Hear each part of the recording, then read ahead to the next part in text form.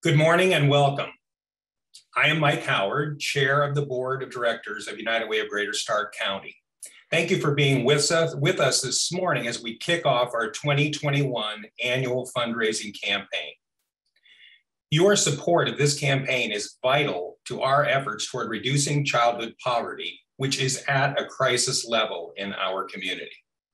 When I was serving as a judge at Stark County Family Court, childhood poverty was a concern for us because it is a risk factor that increases the likelihood of delinquent behavior. In fact, in a 2015 study that tracked a group of kids over 10 years, they repeatedly cycled in and out of child poverty. The researchers found that the kids were more likely to engage in delinquent behavior when they were in poverty than when they were not. This morning, we will hear from some of our community leaders about this urgent issue and how it impacts all of us. Now more than ever, it is time for us to come together and to make a difference in the lives of children and families right here in our community. Your host this morning is Mike Gallini, Vice President of Communications and Community Outreach at AultCare. Mike will be moderating our panel discussion on the implications of childhood poverty and children's education and how we can all work together to find solutions. Mike? Well, good morning, everyone. And thank you, Judge Howard, for that kickoff. And it gives me a chance to share gratitude in an even more magnified way to all the folks at United Way for turning this morning into a great morning with all the uncertainty that was leading up to this happening. So, right out of the gate, great job by Maria and her team. And I'm very honored to be a part of facilitation with regard to a conversation around childhood poverty and really early childhood development. And as you were looking at the screen this morning, waiting for all of us to get on, you probably saw a hand. And that hand had what would look like a stick figure. But today I want that visual to actually become human to you. United Way and all of us hold the future of children in the palm of our hands. So every time we see that visual and those arms reaching down, I want us to be quickly thinking we get the chance to hold it into the palm of our hand and make a difference. And so, what we'll hear this morning is a way that we have three great community leaders guiding us on that journey to how to make a difference. So, I'll open with a story, and then I'm going to guide you through who we'll hear from and how we'll manage the panel discussion today. So the story I like to share actually will double down on that thought of that child in the palm of our hand. It has to do with the first grade teacher. How about that being developmentally correct this morning? And the first grade teacher has taught for 40 years and is retiring. All of the children in this particular class that she is retiring with have written her beautiful little notes, almost like thank you and farewell and they're sitting on a carpet and she is trying to read these notes. They're so beautiful. And of course, they're first grade, so you can imagine what they sound like and look like. About the fourth one in, she starts to tear up and really almost is overcome with emotion. And so she's looking at this one card and says, Oh, I just can't read the words. And a little guy, Stephen, who's sitting right beside her, reaches over and touches her arm and says, Oh, Mrs. Smith, it's okay just sound them out, just like you tell us. Just help us sound them out.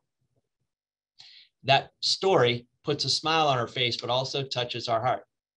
We have the chance to help childhood poverty and early childhood education and development be sounded out in the most productive way so that that child in our hand becomes something that we can tangibly say we've helped. And we've got a great team this morning that's going to help guide that conversation Dave and Laura will talk to us. There'll be some great energy around the whole effort of that child in the palm of our hand is very significant, and we get a chance to sound it out for him or her. So, by way of opening, there's our foundation. And now we're going to share with you how the panel will work. We have three awesome panelists today. We have Mark Samolczyk, President CEO of Stark Community Foundation. He's going to take us through the research and the study what is real about childhood poverty and the real implication of child development in those first five years. Then we'll have Jeff Talbert, the superintendent, or I like to say CEO of the Canton City Schools. And he's going to share with all of us what he sees or what school districts see in this band or age range. And then Teresa Purses, the retiring president of the Stark Education Partnership, will spend time with us on what we can do together. So let's think about the progression. Mark will give us the data and the foundation of information. Jeff will give us what we see, what's going on. And then Teresa will share with us around the ability to contribute. How can we contribute? As they're doing their work today, each will have about 10 minutes. They'll share some of their findings, the conversation. And then if you would have a question, please use the Q&A button at the bottom of your screen, not the chat feature.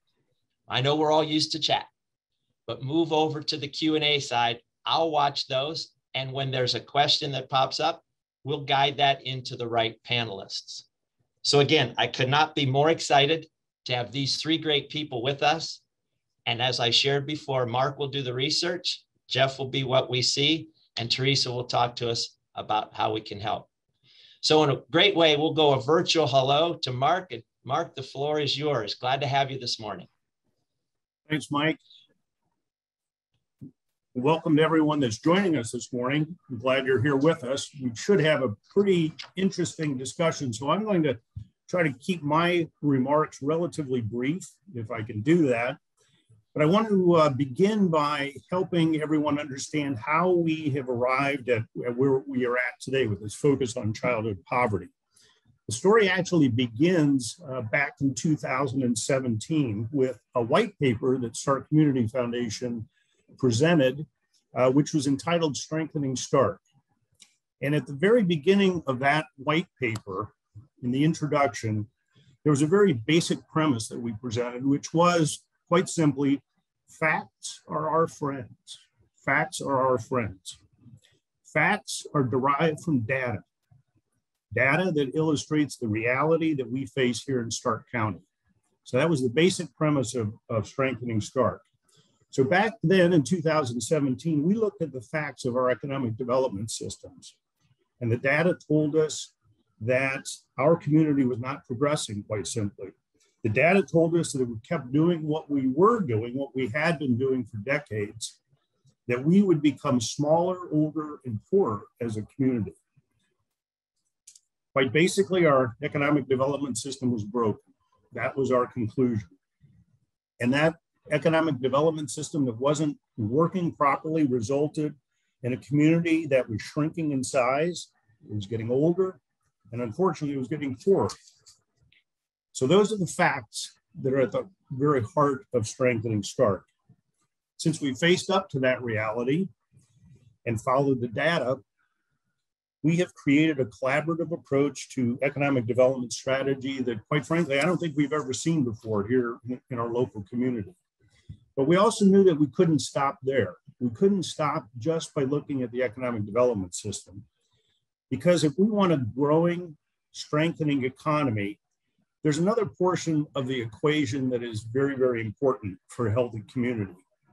Another important part of the equation is the social infrastructure, the social fabric, we like to call it. And so we looked at the data, and that data resulted in a Stark County community assessment. To my knowledge, one of the first times that we looked at a host of economic development, social indicators uh, across the county, and that occurred in 2019. It was a very comprehensive data report. It's available for you to, to view on Stark Community Foundation's website. And as I mentioned, it looked at 50 different indicators of social health. What we saw as a result of that work alarmed us. The common thread throughout all of the data was a high incidence of poverty in our community and in particular, childhood poverty. And so working with United Way of Greater Stark County and the Center for Community Solutions, we created another white paper that was entitled Protecting Stark's Future, a call to coordinate child poverty strategies.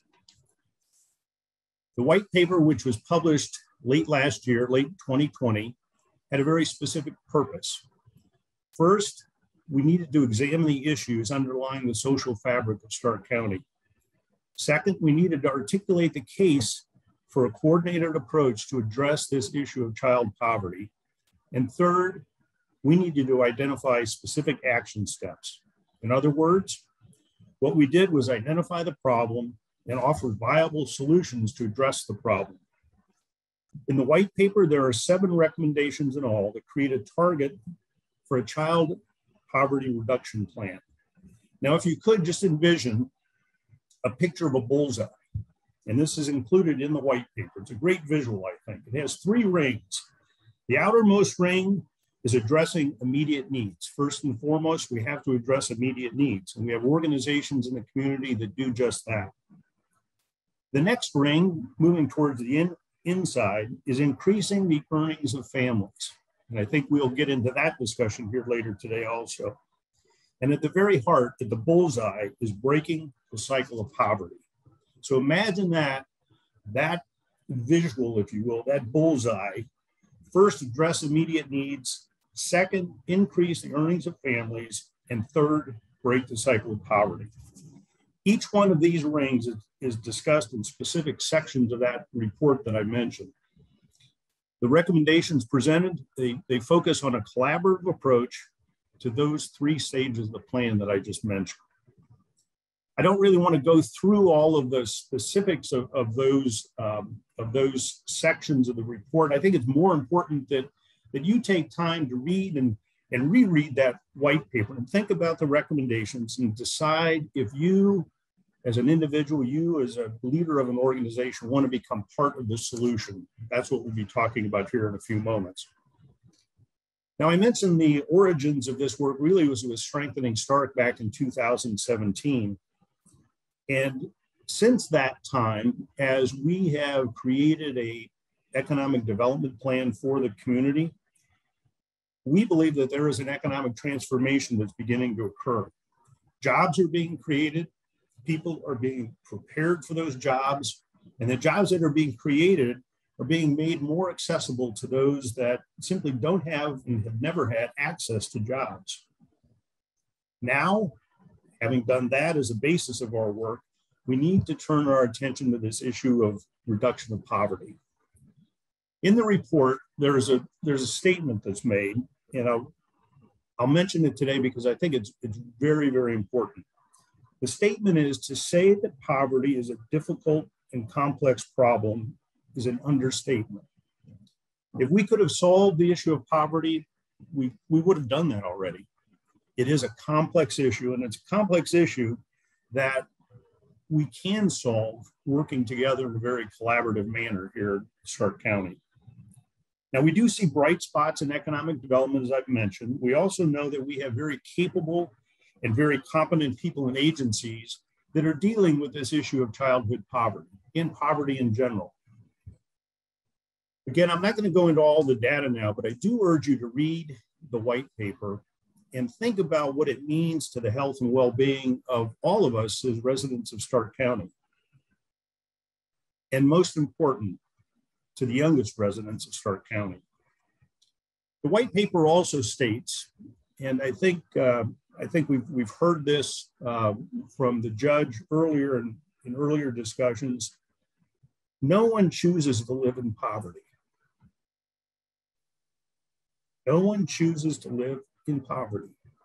We have the ability and we have the capacity to change the trajectory of poverty here in Stark County. And in particular, as I've mentioned, childhood poverty. We have the ability and capacity to change the conversation around this issue. And once we change the conversation, we'll change the way that we begin to look at the issue. And I think that is at the very heart of what, of what we are attempting to accomplish. We'll begin to change the outcomes through a collaborative and a for focused approach.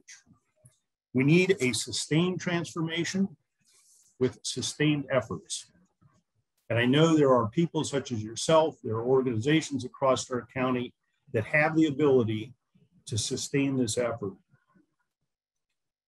So we as a community have the ability to change the trajectory of childhood poverty. We're going to hear more about that with, the, with, the, with Jeff and Teresa. But I challenge each of you to get involved.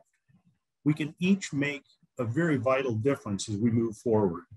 And that difference will ultimately get at the heart of that bullseye and break, break the cycle of poverty.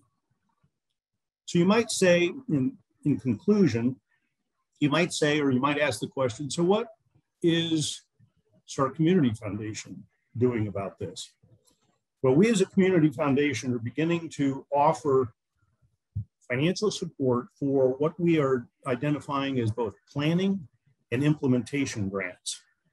Those grants are being offered to organizations across Stark County that are focused on childhood poverty. And again, I mentioned there are numerous organizations, but the important part is that we are providing financial support to these organizations only when they can illustrate to us that they are collaborating with like minded organizations to address this issue of childhood poverty.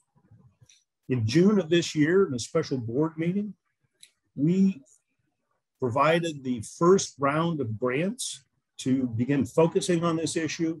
A total of $430,000 were awarded to a number of different agencies that are taking a very collaborative approach at the neighborhood level to begin to address this issue of childhood poverty. So the journey is only beginning. It's, it's in its very early stages, but I think we're already beginning to make progress. And I'm very much looking forward to the Q&A portion of, of, this, uh, of this morning so that we can address some of your questions in, in greater detail. With that, Mike, I'll turn it back over to you. Thank you, Mark and I appreciated how you teed up the audience to have the opportunity to listen and reflect and then use the Q&A as something bumps into them. Mark, as I transition into Jeff and Teresa, a thought came to my mind and maybe you can help with that thought that may then move into a question that someone might ask. When you were talking about strengthening Stark and then the uh, protecting Stark's future, so that data gives you a good spot to really stand and peer at the horizon line. You went to a really cool spot that said changing the conversation and then using planning and implementation granting to help that. I love where the conversation bumps into support. What are a couple conversation points? If we're changing that conversation, what might the audience say? What are conversation points I should listen for if I want to get involved and be helpful? I think one of the most important conversation points, and, and you could call it a conversation point or, or simply a different way of looking at an issue.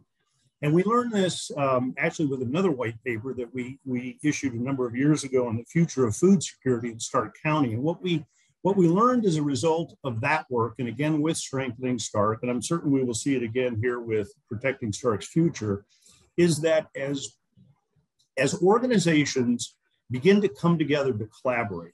First, I should mention, Mike, that we we have we have a whole host of, of really amazing organizations here in Stark County that, that are well respected across the region, across the state, even across the, the country. But what we've discovered as we've begun working with these organizations is that they tend to be working in silos.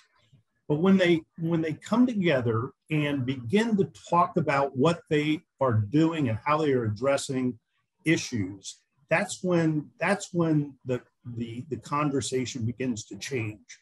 They begin to look at an issue from a different lens and using those using all that vast experience and sharing those ideas and thoughts and experiences it truly changes the conversation. You begin to look at an issue from a different lens.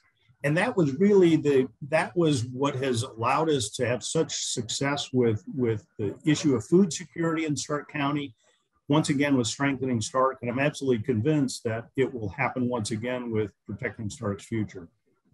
Mark, that's awesome. And thank you for building that bridge between conversation and then what folks can do collaboratively you can reflect, but then step in with your skills and talents or resources and say, with that data, I can get in here and become helpful. So back to that hand with that child, there's that way for that company to say, here's how I can get underneath that child or that issue and lift it up. And I appreciate where you take folks because that's how we can use today to become helpful to what this whole campaign will generate. So thank you for that, Mark. And as we move from Mark into that found from the foundational level of conversation, collaboration, you might say, okay, that's great, but what's it really look like boots on the ground? Or what's it really look like in our largest school district, which would be Canton City Schools?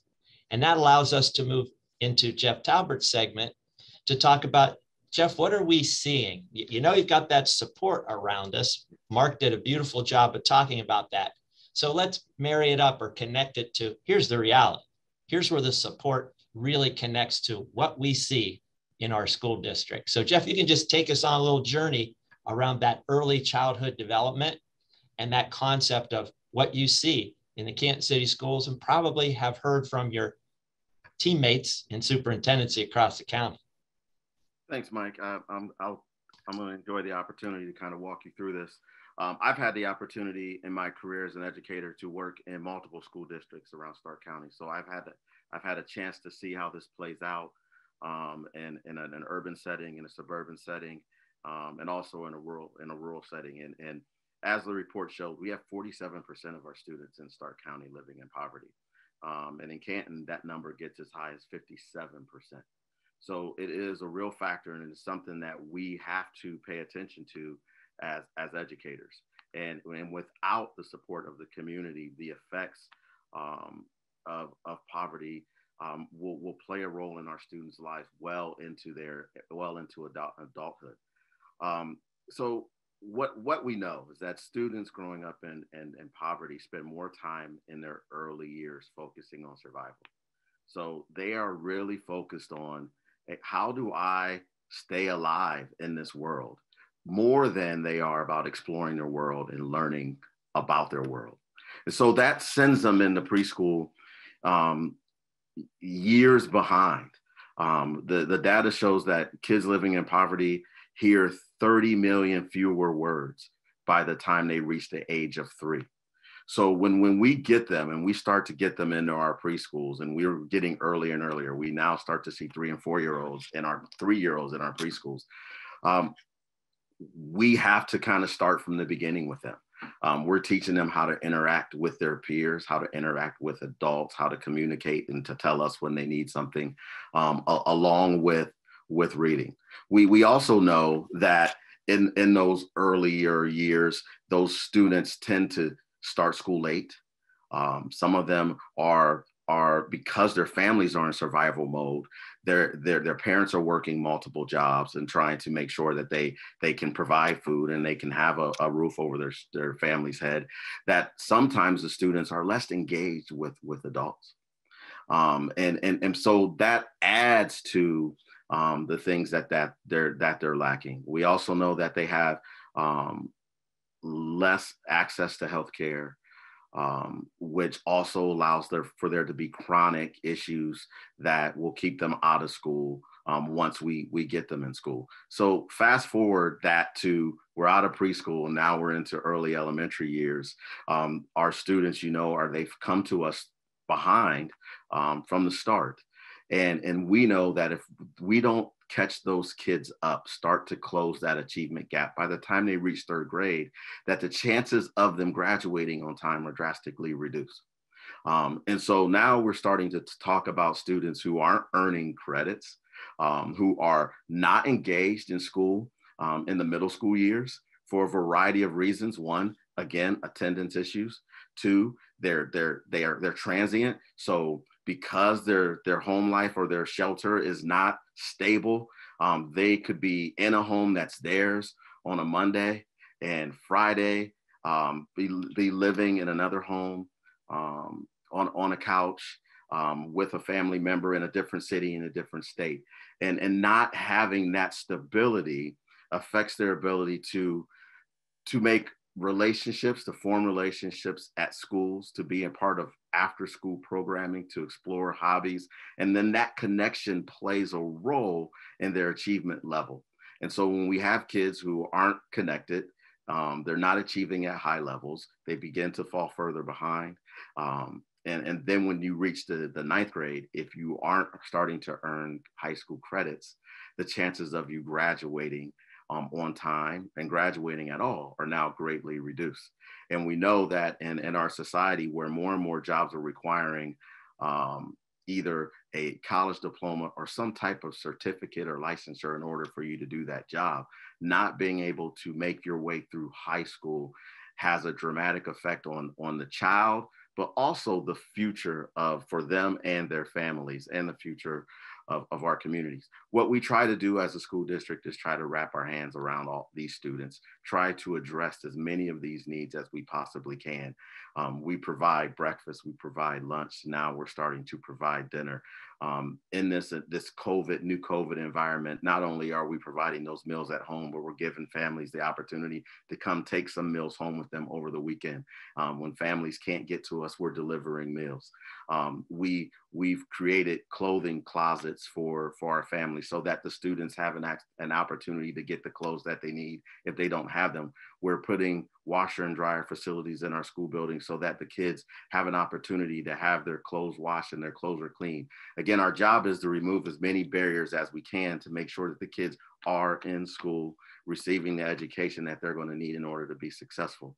Um, we've provided mental health services in our schools. We know that students living in poverty have these chronic stressors in their lives you know, worrying about whether or not I'm going to get my next meal, worrying about whether or not I'm going to have my house, dealing with parents who are really stressed out as well because they're trying to be providers for their students. Um, like Mark said, no one wants to live in poverty. So we have a lot of families who are doing everything they can to make sure that they're able to provide. And that that causes stress. And, and so we have um, multiple, multiple uh, mental health providers inside of our schools who are there to kind of support our families through that. And then we're also working with community partners to make sure that our families have housing. And, and when our families um, have to move, um, we do everything we can to, to, to find out where they are, to get them to and from school. Even if they move to another district, we are working with them to get to allow them to come back to us and to stay with us so that they their school environment can be that place of stability um, it, it, it is it is definitely a challenge. It's a challenge that I know that our staff in the Canton City School District is, is up to in supporting our families because we know just how important it is for students to have a high quality education if we are going to break the, the cycle of poverty in this community. Jeff, what a beautiful job in that short window of time of painting the picture. 57% of your students live in, in a poverty like condition. So over half. And yet we're all looking at achievement levels and production around being a good employee, you know, a good parent, to your point about breaking the cycle. And what you described in that short segment is the power. Mark's statistics are then brought to life with what you see and what your staff sees every single day. And you did a beautiful job at taking us through things like health barriers, engagement, 30 million less words, just because they're not engaged with literacy at an early piece. Perhaps, Jeff, you could say, with all the things that you're doing and all of them very important, have you found that a couple of them, if done really, really well, are great starters? Yeah. Knowing that you're going to do them all, or at some point, is there like two or three you say, you know, if we hit these couple, we, we think we can stand on good ground and get the others in? Yeah, I, I think the, the key is early on engaging with the families and letting them know, hey, here are all the resources that are out there that can help you support um, your family in these. We know that adversity will hit, but when adversity hits, here's what you can do. You can call us, and then we will point you in, in, in the right directions. And if we're able to do that, if we're able to get that connection, that engagement early on with the families, then when when they do um, get into a valley, they understand how to navigate it, um, and then we'll we'll take care of the rest. The rest, you know, we it, this year and in, and in the last few years in the Canton City School District, we've added new school supplies, and we say that the school supplies that everybody needs in order to help our families navigate this world um, is patience, flexibility, and grace.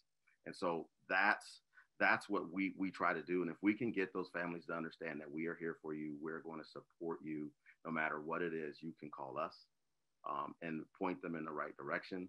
Um, i think that those are the most important things for us right now mike. Jeff thank you for that. I call it a cool closing statement or a summary because what's going on there is if you can get family engagement through, through programming, then it opens the door to allow those others, literally and figuratively, to come into the family. And so I thank you for that because that gets all of us around how our support or where, where Teresa will talk in a moment here about collaboration and how we can look to do that. If we know we can open that door, you know, with patience and grace and certainly flexibility, those great words. Now we've got a chance. We can turn the data. So beautiful job of sharing the reality. And I know all of us can see that movie behind our eyes that you just described. And you've seen it from different district levels, small, large, urban, rural. So your synthesis of all of that really helps us stay on point. So Jeff, thank you for that. And as we segue to Teresa, speaking about being on point, Mark gave us the data. Jeff just spoke of, I call it high truth, high grace that just happened there. Teresa will talk to us a little bit about, so what can we do together? And Teresa, before you jump in, it gives me a chance really to brag on you with all the work that you've done through schools as a superintendent, certainly with Stark Education Partnership. Your leadership generally has really been a gift to us. So as you transition and Dr. John Richard comes into play, thank you. And we know that you'll still be right with us, helping us collaborate. So with that, I'll just build the bridge to collaboration. And Teresa, take us on that journey of you know, what we might be able to do together. Thanks, Mike. Um, so thanks to the financial commitment of our community, our United Way of Greater Stark County has been working diligently with our community partners to tackle the impact of poverty on our families. And, and this morning, I want to highlight three United Way partner programs. So first, um, as, as Superintendent Talbert has shared, starting early makes a big difference. And so I want to highlight uh, the Stark County Thrive Project first. Um, so Thrive is a project through Canton City Public Health that works to reduce overall infant mortality rate, as well as disparity in birth outcomes relative to Black and white in, in, infants. Um, the Thrive Project employs community health workers, sort of stand in the gap with women during pregnancy until the baby is a year old. Those community health workers assist and support moms with things like safe sleep education, housing, transportation, health insurance, employment, and so much more.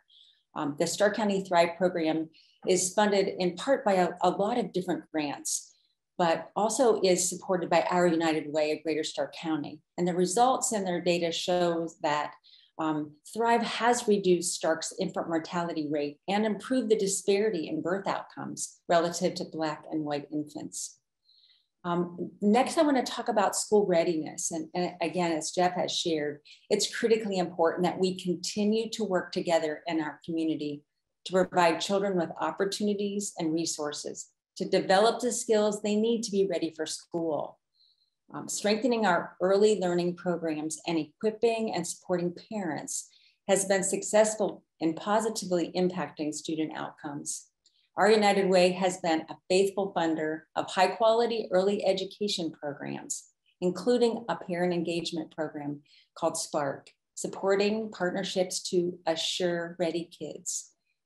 Spark is a family focused intervention program that helps children get ready for school by building reading, language, math, social skills, and seeks to create this seamless transition uh, between school and home for children ages three to six.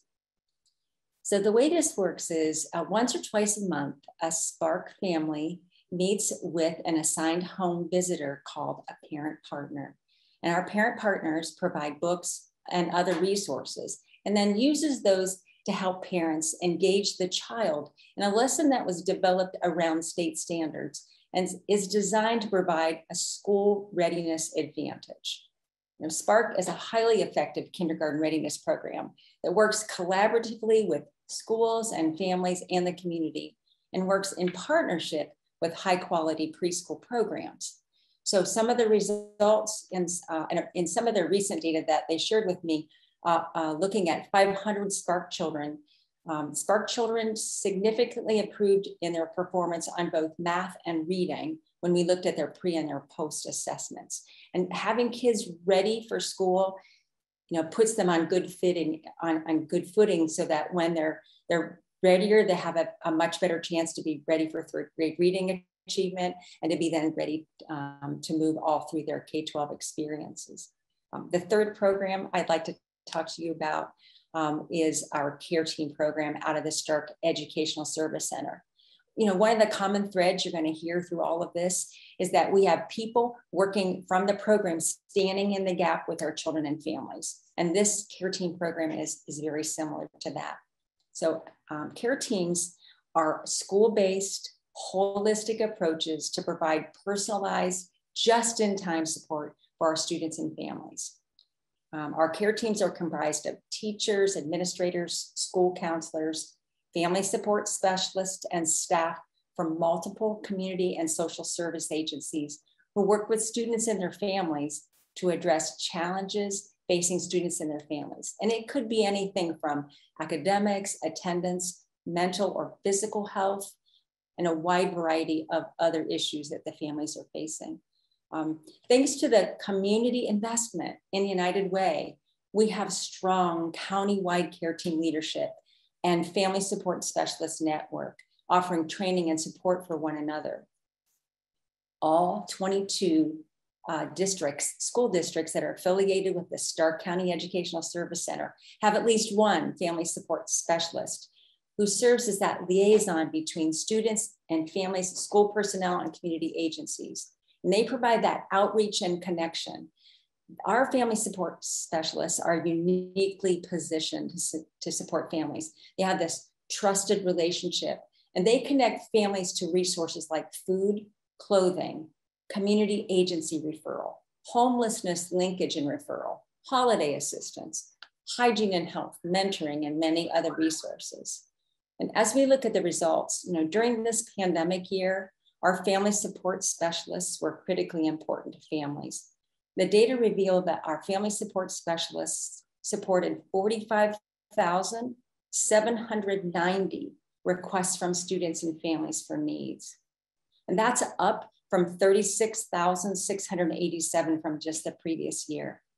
Now, our, our care team data, it, you know, there's, there's a lot of data that's collected, but when that those interventions are provided, the data shows that student promotions are increased from one grade to the next, graduation rates increased, you know, all of those important indicators of ac academics, attendance, behavior are all improved with that strong collaborative team approach. So again, thanks to the community investment in our United Way of Greater Stark County and their partners, our children, youth, and adults have improved health and education outcomes. Teresa, thank you. And I know you could have gone on as each of the three panelists could have just unbundled these key components in their presentations. So I thank you guys for managing that into a good way for our folks to get their head around it.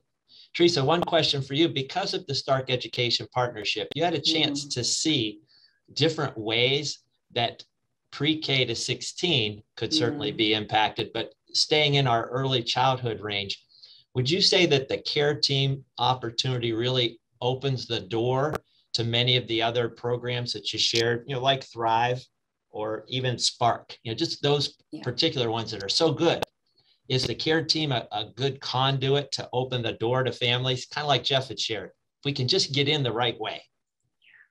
Uh, you're absolutely right, Mike. And I would say one of the exciting new projects that I didn't have a chance to share about is um, this um, Stark Community Foundation just funded the opportunity um, to start a care team in preschool, and the pilot will be in Alliance, and, and the Stark Education Partnership is will be the evaluator for that project. And we're so excited because we believe that there's a lot of great things happening in early education. So compliments to everybody working in that space. But when we work together, as Mark mentioned, um, we're, we're, you know synergistically we see the data improving so that they've already started uh, i know alliance city schools and their um, alliance early learning center their spark program mount union they're all involved. Um, i know raymont johnson's you know family empowerment centers involved. So there will be strong parent engagement. There's you know education because superintendents get it that we can't wait till they enter the schoolhouse door that it has to start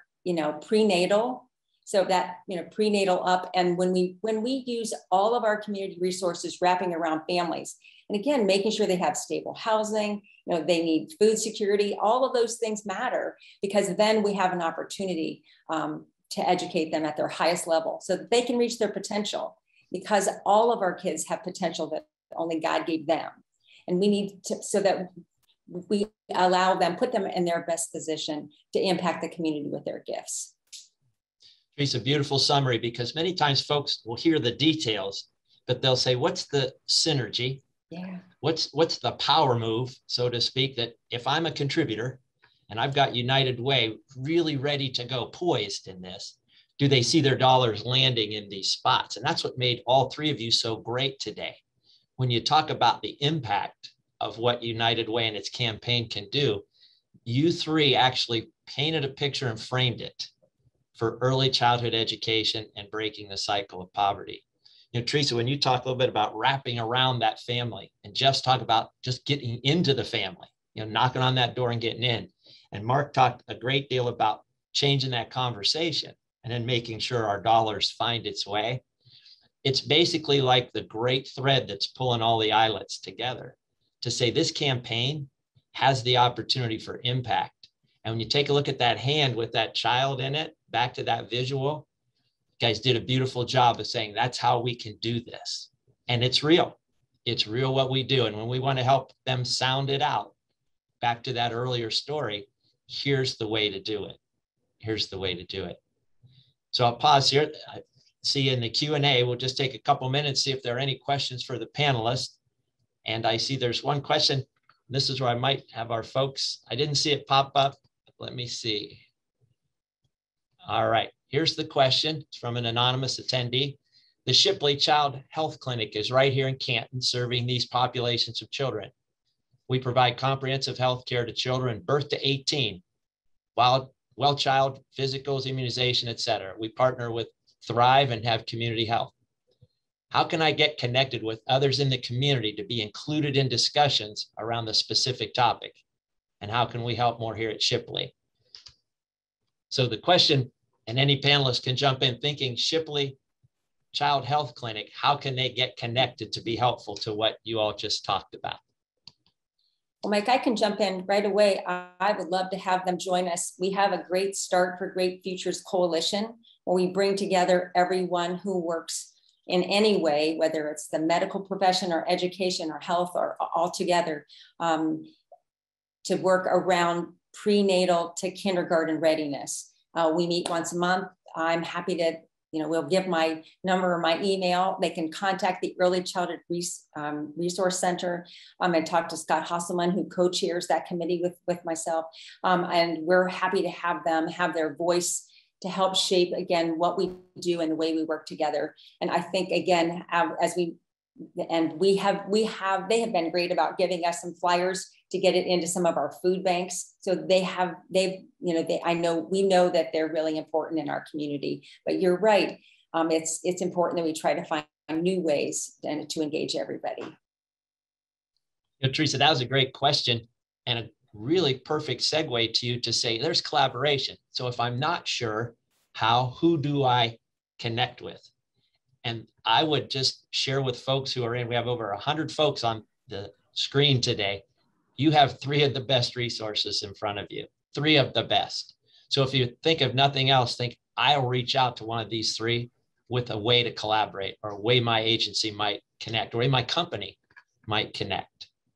So thank you, Teresa. And that's a great question from the, the Shipley Center, the early, the clinic side of Shipley. And Mike, Mike, could I jump in here also Please. and just add a thought? Uh, one of the one of the most important roles that the community foundation fulfills in the community is to get, convene organizations to bring them together and we are we're in a really unique position that we we see so much of what's going on across stark county and any organization that is interested in getting engaged in this effort i would suggest that go to our website. Um, there is a there's a, um, a, a means there to contact us by email. Send me an email. Send an email to Amy Krebs, who's our vice president of, of grant making here. or just send it to the general account. We'll receive a copy of it. But if you'd like to come in and begin the discussion with us, many times what we what we see is organizations will contact us and say, hey, we've got this idea, or we're thinking about doing this. Is anybody else doing this in the community? And we invite them to come in and, and, and spend some time with us. And then we can share with them some of the experiences that we've had and our knowledge of other organizations in the community. So we would welcome um, anyone contacting us. Thank you, Mark. And, and that is really neat because sometimes folks just don't know and you have a chance to see in the broadest way how they might connect. So great right. resource connecting to their want to. Thank you for that. And again, you know, the uh, using Teresa's education partnership and then certainly the community foundation. Well, as I take a look at the Q&A, it seems like we're still great. And I know that we're keeping time correctly. So I think we're being very helpful to the gift of your time, over 100 of you with us today. I'll just close before I give it over to Judge Howard. Over my shoulder, you see this little thing. It says you matter. It's on the screen. And I'll have fun to say you do matter in this campaign. We all have something that we can give. Could be financial, certainly our, our companies can get involved in a larger way. But let's use this morning to motivate and energize that thoughtfulness around how do I collaborate to help students that Jeff described in a way that Mark says the data will produce. If we do that, we've got a chance and we get a chance to really kick it off and make a difference. So thank you for group. Mark, Jeff, Teresa will give you that cyber clap. Those folks that are out there, I'm sure they're giving you a standing ovation right now, like they would have in person. And as I do that, I give you my applause and I turn it back over to Judge Howard. Thanks again, panelists. Well, I would like to join in thanking Teresa, Mike, Jeff, and Mark uh, it was very insightful and it was very motivating. We appreciate the time that you spent with us here today. And we also thank you for the incredible work that you are doing in our community to improve the lives of children and families. Over the years, I have worked closely with all of you, and I know how dedicated you all are to this work. Uh, as I mentioned earlier, today marks the beginning of United Way's 2021 fundraising campaign. United Way of Greater Stark County is committed to finding long-term solutions to social issues such as child poverty. With your help, those solutions are within our reach. Let's take a look at a video now that offers further perspective on this. When you grow up in poverty, planning for the future is a luxury. When resources are limited, the focus is on just getting by knowing that missing one paycheck can have life-altering consequences. My name is Richie Harper, and I work in the Stark County Prosecutor's Office. I grew up here in Canton, Ohio, and I grew up in poverty. I understand these issues and how it affects our community, especially our children. So many of our children are going without basic needs such as food, clothing, and housing. We face a growing crisis in every part of our community. I think it's very important to break the cycle of childhood poverty the sooner we can address a problem, the more effective it'll be. The report that I've just read was Protecting Stark's Future, and it references the condition of Stark County and specifically childhood poverty. The Childhood Poverty Report was commissioned and started in 2019, so it was pre COVID. Um, the results, uh, even pre COVID, were alarming. In the city of Canton, about half of the children live in poverty. And for a city its size, that places Canton tied for second place in the country with the worst child poverty rate. I think some of the things people thought that were occurring only in Canton are occurring throughout our whole county. For example, there's 20,000 children living under the poverty line in Stark County. 47% of those are outside of the city of Canton. So poverty affects all of us. It's our responsibility as a community to help the children in this community that by no choice of their own are living in poverty.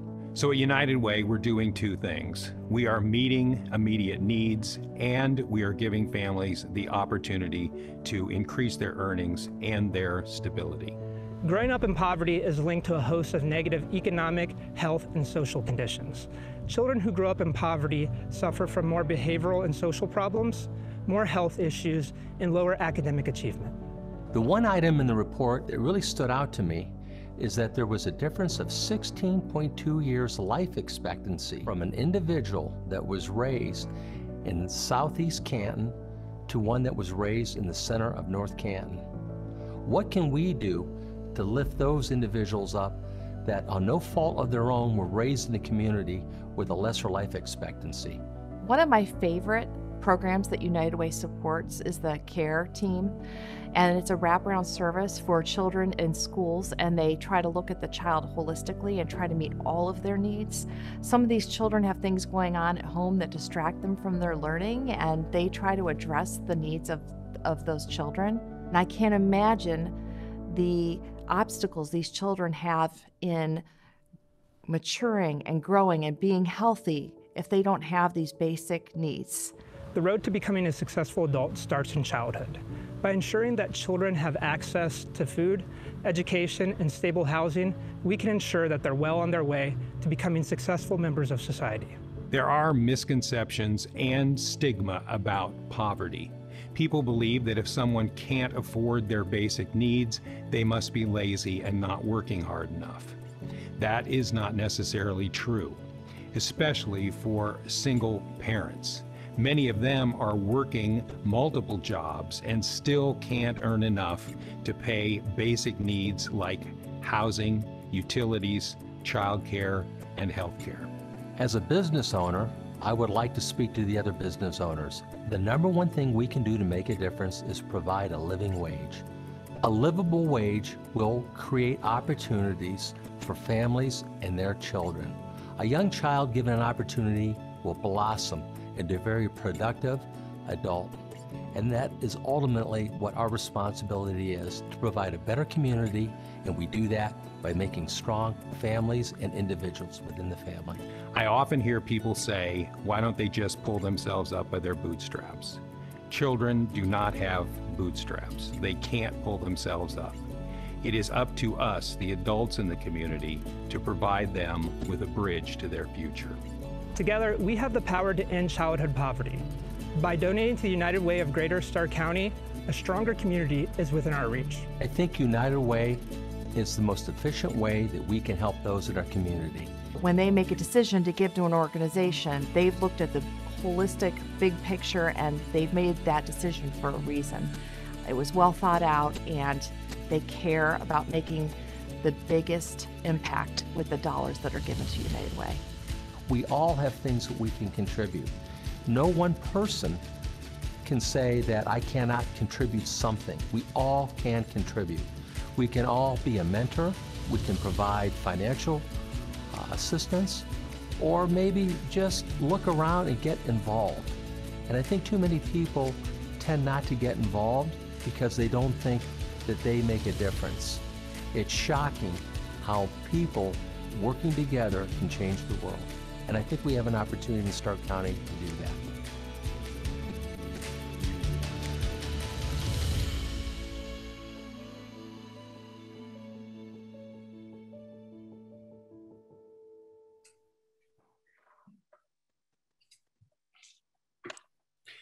As you saw in the video, Dave and Laura Grabowski are our campaign chairs for this year, and it's now my privilege to introduce them. Well, I just want to say, uh, Judge Howard and panelists, uh, it's an honor to be involved with the United Way. And every year when September comes around, I think of two things, uh, two of my favorite things, football and United Way. And now we're going, uh, today, this will be the kickoff for United Way. And United Way is a very, very important organization. And I can speak as a community member my whole life uh, I've looked at United Way as uh, being at the forefront of charitable giving. And I think charitable giving is what determines the type of society we have or community that we live in. Uh, we can discuss programming and funding all we want, but without this campaign, none of it can occur, or at least it can occur on a limited basis. It's very important that we are able to set goals and meet goals and help people. The 2020, the 2021 United Way campaign will only be successful as the volunteers, as we make our pledges, and more importantly, ask others to pledge to help those in our community. This is the morning we kick off United Way 2021 Stark County campaign. Now, we don't know how the campaign's going to end up, but there are a few things we do know at this point. Number one, much of the staff and many volunteers have been involved for months behind the scenes, talking to individuals and gearing up for this day and through the duration of the campaign. I don't think people realize how many people put so much effort in before this campaign to make this hopefully a successful campaign. There's a lot of preparation. We've already made 60 CEO calls, and the initial discussions I think are somewhat promising. Early workplace campaigns have either started or will, will be starting. And again, we feel that those will be promising this year. Many of the large companies in the area have been responsive to stepping up. And of course, their commitments have not been fulfilled yet, but they are implying that they think they can meet some of the requirements uh, that they feel they can meet for the campaign. Uh, United Way does the best it can to keep up with technology. And a good example is the e-pledge, something that's relatively new and will resonate with a certain segment of our uh, community and also we'll get money in a quick and easy fashion into uh, United Way. Uh, we're showing promising results in sponsorships and grants. One thing, there are some headwinds though. It all sounds good, but there are always headwinds. Uh, there are many companies still suffering. Many cases, uh, in many cases, some companies, as we know, are not open or partially open.